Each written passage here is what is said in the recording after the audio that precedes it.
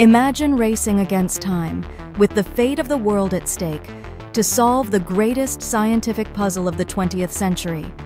That was the reality for Oppenheimer and his team at Los Alamos. The challenge? Harnessing nuclear fission to build a weapon of unimaginable power.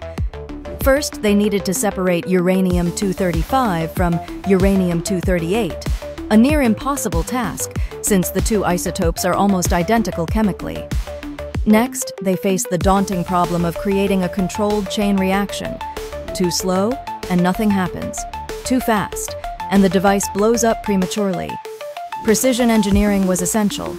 Conventional explosives had to compress plutonium into a supercritical mass in mere microseconds. Even the tiniest miscalculation could mean failure or disaster. Theoretical physics, chemistry, and engineering collided in a whirlwind of innovation and pressure. Every breakthrough, calculating neutron behavior, designing the implosion lens, building the world's first nuclear reactor, pushed the project closer to success.